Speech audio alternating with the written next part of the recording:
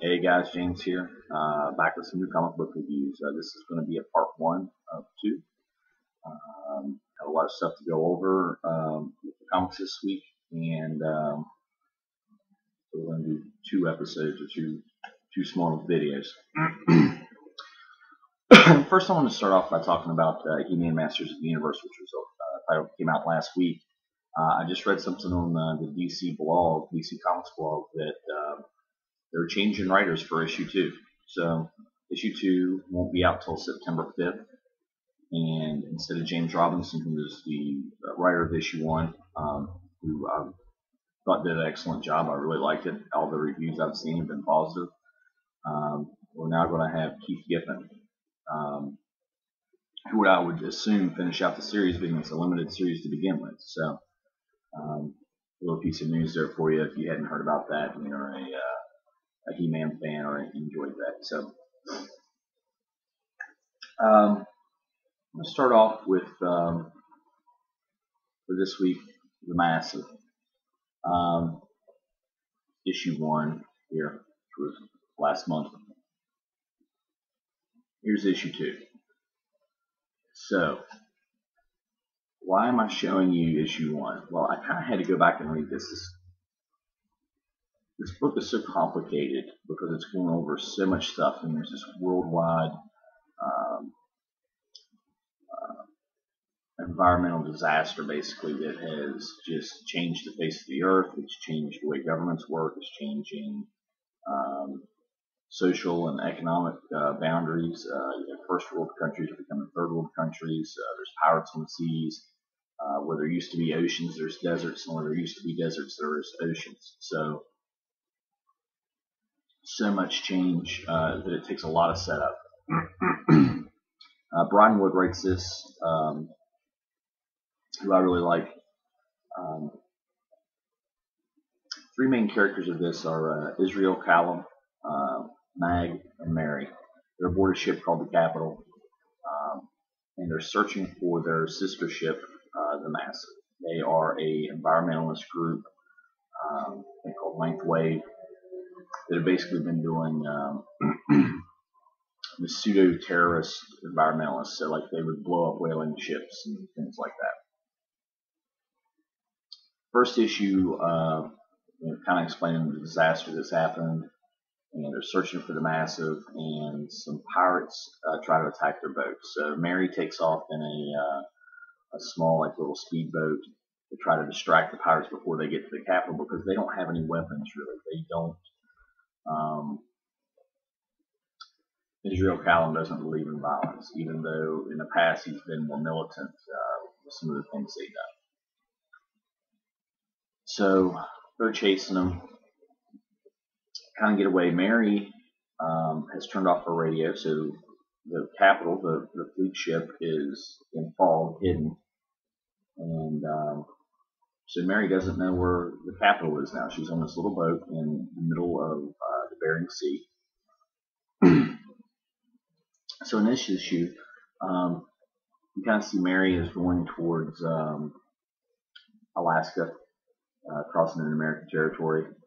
Uh, and I assume it's flashing back to uh, when the Kapital was in Hong Kong before they get to the Bering Sea. Um, and why I say I assume it's a flashback because it really doesn't show the timeline hasn't played out yet. This is part two of three. I would assume in part three you kind of see, okay, yes, this was a flashback or a flash forward. I think it has to be a flashback just the way the story is going.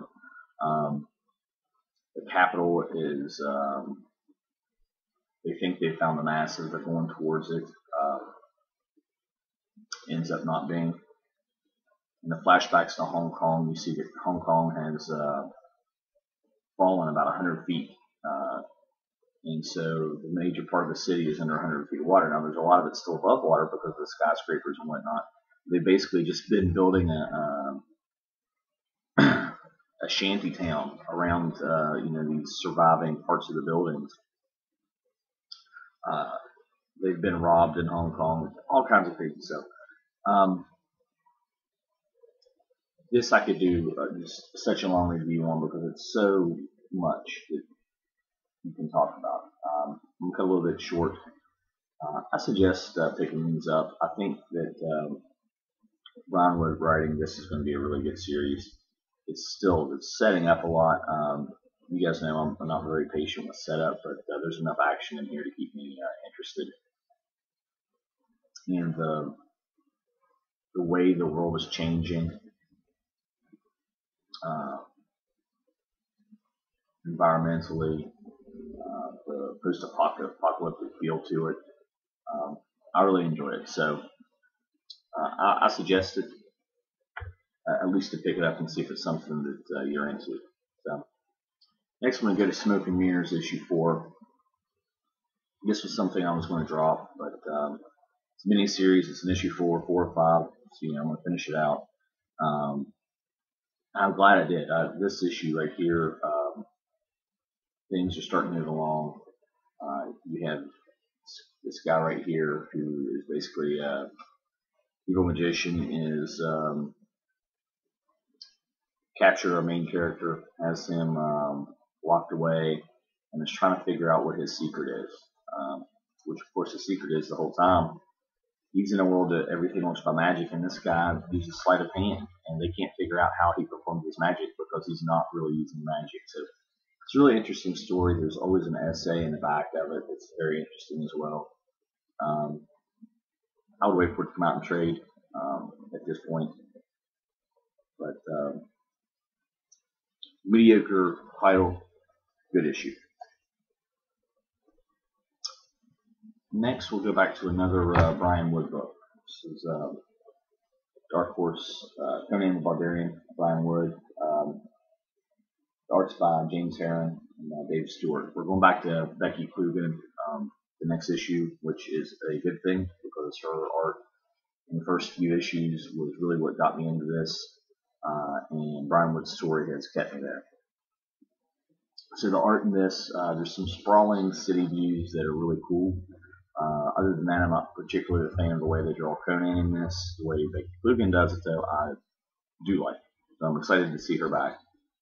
Um, this issue uh, follows, uh, it's this third part of the Argos deception. Conan comes, um, has just gotten off the gallows, like he's killed the, the uh, champion for the city uh, to win his freedom. And of course, the guards aren't having that and they're chasing him down, and he's being Conan and kicking their ass. So that's awesome. Uh, Belit is uh, also running. They're trying to get back to their ship. Um, I really love the narratives in this that Brian Wood does. It adds so much to the story. It adds so much to the character of Conan. He has uh, emotions other than drunk and angry, which is kind of the two emotions you always think of with Conan. he uh, he's scared of. You know, he feels fear. Uh, he feels love. Uh, he uh, second guesses himself, and it makes him more human, but without taking away uh, his you know, being a badass and, and you know, being able to just hack people apart and uh, so it really adds to the story. So this is them trying to get back to the ship. Um, and uh, really, it's just this is um, it's mostly just killing, mostly Conan just you know messing people up and they just trip back to the ship. It's really good. Uh, kind of been waiting for this issue because uh, the last couple of issues, you know, Conan was not looking, things were not looking good for him. And now he is, um, he's back, he's, uh, he's free again, he's heading back towards, uh, the ship. So, lots of good killing. Okay, and the last one I'm going to do for this first video is Batman issue 11. This is the uh, end of the uh, Court of Owls which was a fantastic story arc.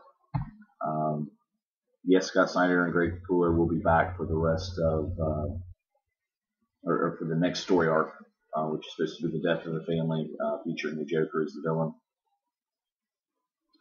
Um, this issue just kind of finishes off the uh, Thomas Wayne Jr. storyline. Uh, we really don't find out if it is uh, Bruce's brother or not. it's still kind of up in the air. Uh, they believe that uh, even Bruce doesn't know. He said the only way he would know is a DNA uh, test, and he doesn't have any samples of his DNA. So this whole issue is basically a battle between um, Lincoln March, um, one of the, the Talons, who claims to be Bruce's brother, and Batman. And it's all over Gotham. Um, it's a very cool story. Um, I mean, this is not the best Batman issue I've read, but it's what we needed to end the story. I mean, the last issue was so awesome. It's uh, this is a little anticlimactic because you've kind of already got the big reveal, and now it's just the battle where Batman, you know, prevails and and uh, close out this story arc. But it was good. If uh, if you're not reading Batman, I think you're missing out. I think this is the best title on the shelves right now. Um, it um, it's not my pick of the week this week, but uh, as a series, I think this is probably the best thing out right now. So that's it for my first uh, first video for the new comic reviews this week, and I'll be back to review the last uh, few books. See you in a few.